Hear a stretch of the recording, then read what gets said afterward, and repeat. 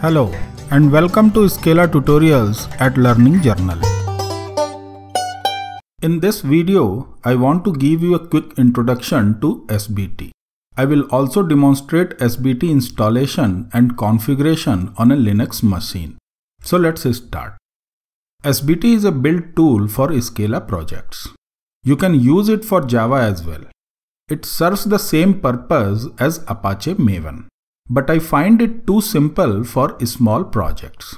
That's why the name SBT stands as a simple build tool. I liked it most for a couple of reasons. We need very little or no configuration for simple projects.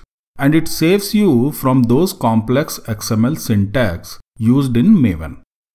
You don't need to install Scala separately and you can start Scala REPL on your project. Scala REPL is a command line tool where you can execute Scala code line by line as an interactive command. There are many other features and we will explore the most relevant ones as we progress. The first thing is to install and configure SBT and explore some basic operations. Installing SBT is a two-step process. Download and install JDK and then download and install SBT. You can download JDK RPM from Oracle Technology Network. Once you have the RPM, you can install it using yum local install command.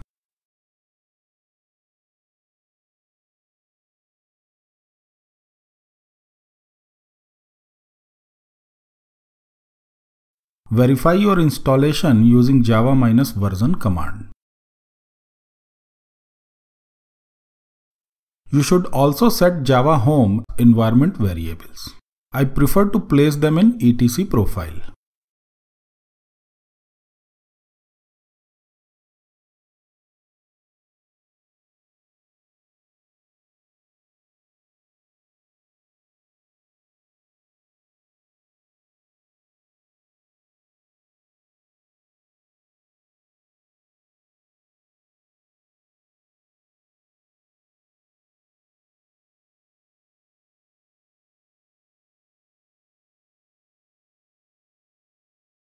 Good, JDK installation is complete. For SBT installation, we follow the process defined in the documentation. Download the jar file and place it in the user local bin directory.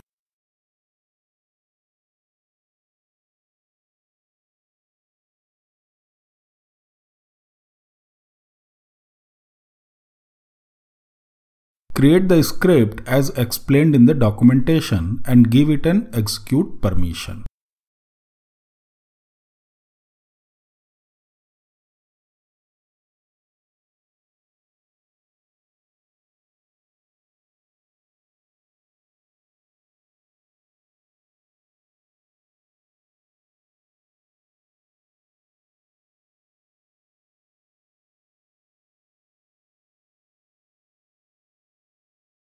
Now you are ready to start SBT. But before that, let's create a workspace directory for all your SBT projects. Let me create a project directory as well. Change to the project directory. My project folder is still empty, but that's not a problem. I can start SBT with an empty project. Before you start SBT, you should change your current directory to your project directory. And it is a recommended practice because SBT considers your current directory as your base project directory and it sets the current project to the current directory. Okay, just type SBT and hit the enter key. For the first time, it will take few minutes because it downloads necessary things to complete your installation. It also compiles your current project, but in our case, we have nothing to compile. Good, so it's over and we got the SBT command prompt. SBT installation is complete and we are now ready to use SBT as well as Scala. Let's exit from the command prompt for now. We will explore SBT basics in next video. Thank you for watching Learning Journal. Please like, subscribe and share. Keep learning and keep growing.